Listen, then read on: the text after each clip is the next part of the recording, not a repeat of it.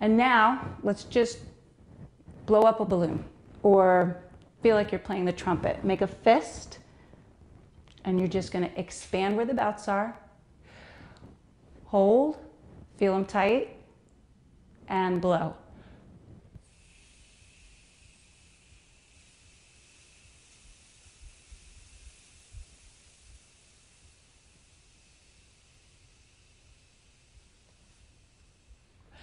Good. When you're done with that, you should have felt each abdominal wall muscle engage. And in the beginning, you feel a lot of pressure. This is an important feeling for singing because when we support our voice, we don't want to muscle it or push on it, but we will feel sometimes pressure.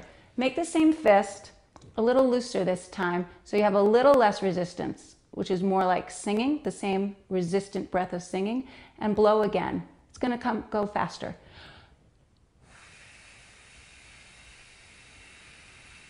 You feel the pressure? Try it again and just be aware of the pressure.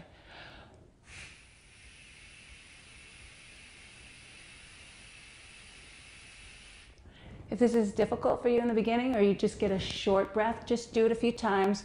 Don't do it too many times in a row or you might get lightheaded. You want to be doing that 10 or 20 times a day to start to build the endurance you need to support your voice. Let's talk for a second about where we're going to place the air. So the voice is a wind instrument.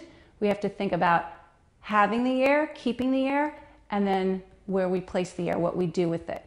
So if a nail went through the top of your head, it would come out through the very center of the roof of your mouth. Just press on that with your thumb. I call it the top of the dome there. Just press. That's where you're aiming your air. For 90% of your notes, all the notes in one place in your mouth. If you play the flute, think of the flute. You have the aperture, so you know exactly where your air needs to go. The same is true in the mouth. You got to get the air in the same place. If you blow over the aperture, your notes are going to warble. Same in the mouth. You want all the notes in the same place. When we go very high, you'll learn to bring it back. When we go very low, you'll bring, learn to bring it forward towards your teeth. But for now, just press here. Good, every note there. Expand where the belts are. Feel your belly expand. You feel your ribs expand. You can feel the belts tight. You'll feel your back. You'll feel the belts there. Don't let go. Every note. Aha. Ah. Take a breath.